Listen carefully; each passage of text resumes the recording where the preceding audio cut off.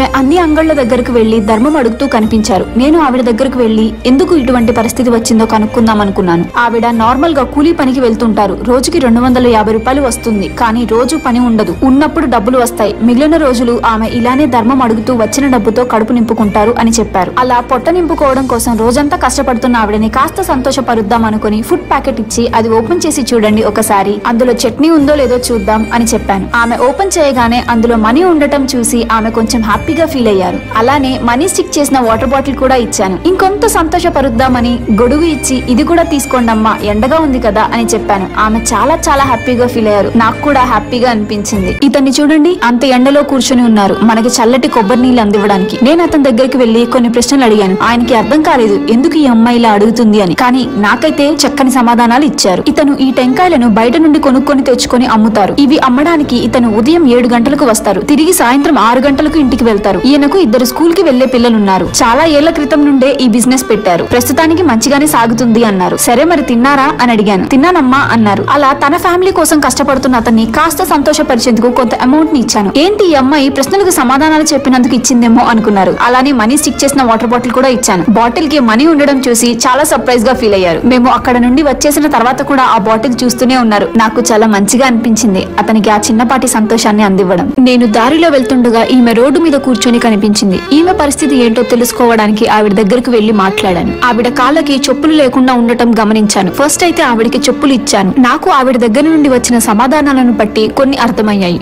ఆమెకు కొంచెం మతి స్థిమితం సరిగా లేదు. ధర్మంతో వచ్చిన డబ్బుతోనే ఆమె పొట్ట నింపుకోవాలి. కొంతమంది అయితే ఎన్నిసార్లు అడిగినా ధర్మం ఇవ్వట్లేదు. ఇంకా ఆవిడకి ఇల్లు కూడా లేదు. ఎవరో తన బంధువుల ఇంట్లోనే పడుకుంటున్నానని చెప్పారు. ఆ తర్వాత కొంత అమౌంట్ని ఇచ్చాను. ఆ తర్వాత ఫుడ్ ప్యాకెట్ కూడా ఇచ్చాను. చాలా హ్యాపీగా ఫీల్ అయ్యి నన్ను ఆశీర్వదించారు. త్వరగా తినేయండి వస్తాను మరి బాయ్ అని చెప్పాను. ఆవిడ కూడా బాయ్ అని చెప్పారు. నాకు చాలా హ్యాపీగా అనిపించింది. ఈమెను చూడండి ఈ వయసులో కూడా ఒక బిడ్డను పెట్టుకొని ఇంత ఎండలో ట్రాఫిక్ ఎక్కువగా ఉన్న రోడ్డు మీద కూర్చొని ఉన్నారు. నేను ఆవిడ దగ్గరకు వెళ్ళి ఏంటమ్మా ఇక్కడ కూర్చొని ఉన్నారు? ఇంత ఎండలో? అని అడిగాను. ధర్మం అడుగుతూ ఇక్కడ ఉన్నాను అని చెప్పారు. ఈవిడికి ఒక కొడుకు ఉండేవాడు. అతను చనిపోవడంతో మనవణ్ణి చూసుకోవాల్సిన బాధ్యత కూడా ఆమె పైన పడింది. ఆమెకు వయసు అయిపోవడంతో ఏ పని చేయలేక ఇలా ధర్మంతో వచ్చిన డబ్బుతోనే కడుపు నింపుకుంటుంది. ఇప్పటి వరకు డబ్బులు సరిగా లేకపోవడంతో ఫుడ్ కూడా ఇంకా తినలేదు అని చెప్పారు. నేను ఆవిడకి టూ ఫుడ్ ప్యాకెట్స్ చూపించి ఒకటి సెలెక్ట్ చేసుకోండి అని అడిగాను. ఆమె ఒక ప్యాకెట్ని తీసుకొని ఓపెన్ చేయగా అందులో మనీ ఉండడం చూసి కొంత హ్యాపీగా ఫీల్ అయ్యారు. అలానే మనీ స్టిక్ చేసిన వాటర్ బాటిల్ కూడా ఇచ్చాను. ఆ మనీ కూడా చూసి ఇంకొంత హ్యాపీగా ఫీల్ అయ్యారు. ఆ పిల్లవాడికి కూడా ఫుడ్ ప్యాకెట్ ఇచ్చి అక్కడ నుండి వచ్చేసాను ఈ తాత రోడ్డు దాటడంలో కష్టపడుతూ ఉండగా మన టీం వెళ్ళి రోడ్డు దాటించారు. నాకు అతనితో మాట్లాడాలనిపించి కొన్ని ప్రశ్నలు అడిగాను. ఎక్కడ నుండి వస్తున్నారు తాత? ఇంత ఎండలో? అని అడిగాను. ఆరవ మైల్ నుండి వస్తున్నాను అన్నారు. ఇతనికి వైఫ్ లేదు. ఇంతకుముందు ఏదో కూలీ పని చేసుకునేవారు. ఇప్పుడు వయసు అయిపోవడంతో ఇలా ధర్మంతో వచ్చిన డబ్బుతోనే కడుపు నింపుకుంటాను అన్నారు. అతనికి ఒక కూతురు ఉంది తన దగ్గరే ఉంటుందన్నారు. అయినప్పటికీ ఇలా ఎందుకు ధర్మం అడుగుతున్నారు అన్న ప్రశ్నకి అతను సూటిగా సమాధానం చెప్పలేకపోయారు. చాలా ఇబ్బంది పడ్డారు. తిన్నారా అని అడిగాను. లేదు ఇప్పటి వరకు నాకు వచ్చింది ఈ చిల్లరే అన్నారు. సరే నా సైడ్ నుండి నేను అతన్ని కాస్త సంతోషపరిచేందుకు ఫుడ్ ప్యాకెట్ ఇచ్చి అందులో ఏం ఫుడ్ ఉందో చూస్తారా అని అడిగాను. అతనికి ఓపెన్ చేసి చూపించాను. అందులో మనీ ఉండటం చూసి హ్యాపీగా ఫీల్ అయ్యారు. అలానే మనీ స్టిక్ చేసిన వాటర్ బాటిల్ కూడా ఇచ్చాను. చాలా చాలా హ్యాపీగా ఫీల్ అయ్యారు. నన్ను ఆశీర్వదించారు. నాకు చాలా మంచిగా అనిపించింది. ఈమెను చూడండి ఇంటి బయట ఒంటరిగా కూర్చొని కనిపించారు. ఎందుకు ఇలా కూర్చున్నారో తెలుసుకోవడానికి నేను ఆవిడ దగ్గరకు వెళ్ళాను. ఆమెను కొన్ని ప్రశ్నలు అడగగా ఆమె చెప్పిన సమాధానాలు. ఆమె ఒక ఇంటికి వెళ్ళి పని చేసుకుని వస్తారు.